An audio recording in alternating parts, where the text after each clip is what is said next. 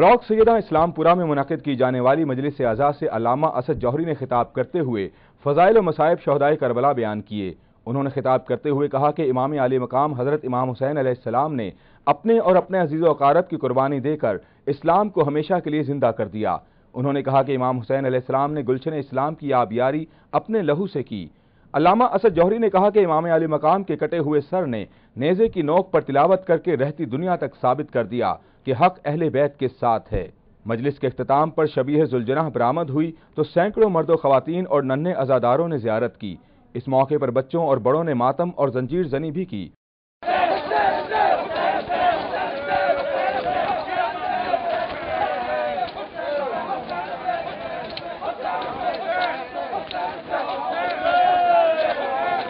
जुलूस के मौके पर सिक्योरिटी के इंतहाई सख्त इंतज़ाम किए गए थे।